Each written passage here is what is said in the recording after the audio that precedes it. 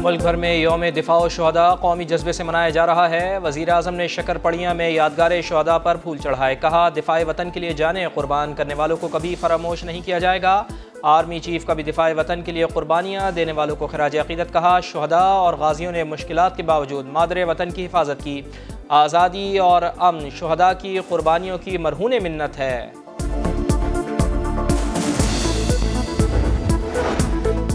इदारों को बदनाम करने की घिनौनी मुहिम में मुलविस अफराद के गिरद घेरा तंग, शनाख्त का काम मुकम्मल हो गया। तहकीकती रिपोर्ट वज़ीर अजम को पेश कर दी गई।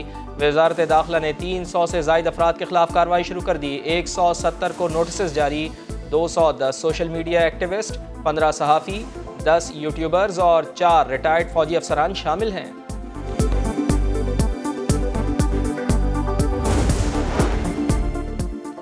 सिंध में सैलाब की तबाहकारियाँ। मेहड़ शहर डूबने का खदशा। पानी की सतह में मुसलसल इजाफा। सेवन के सेम नाले में 50 फुट चौड़ा शिगाफ।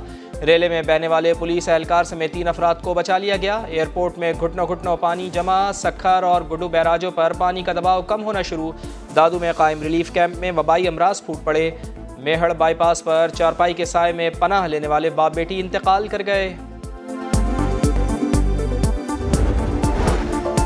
और एशिया कप का सुपर फोर मरहला। अहम मैच में भारत टॉस हार गया। श्रीलंका ने रोहित इलेवन को पहले बैटिंग की दावत दे दी। मैच हारने पर भारत को वापसी का टिकट कटवाना होगा।